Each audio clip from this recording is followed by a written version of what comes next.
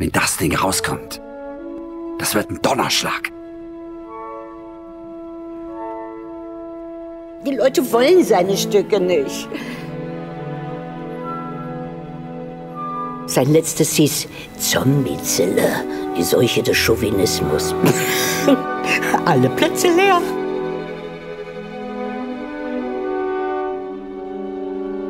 Ja, dem geht's halt nicht um den Erfolg, dem geht's um die Sache.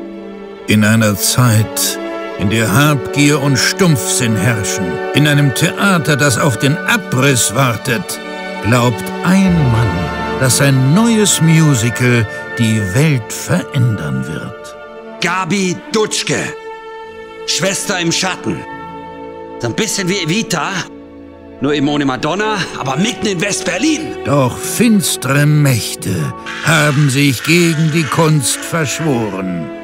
Ich will das Theater am Kudamm brennen sehen. Ich will mein Casino! Zieht mal eure Kackstelzen ein, ihr Kalkleisten. Morgen früh um neun seid ihr hier raus, kapiert? Ups. Als bereits alles verloren scheint, geschieht das Unglaubliche.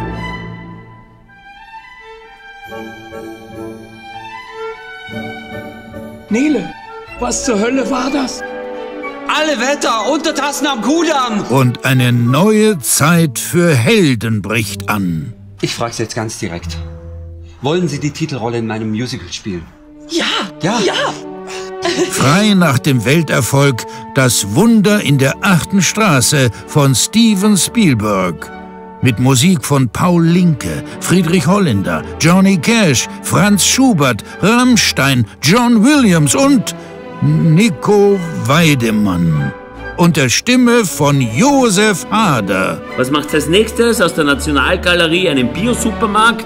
Machen Sie sich bereit für eine abenteuerliche Geschichte über große Träume, wahre Künstler und die Hoffnung, die zuletzt stirbt.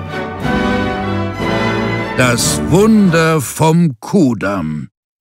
Nur bis 6. Mai im Theater am Kurfürstendamm.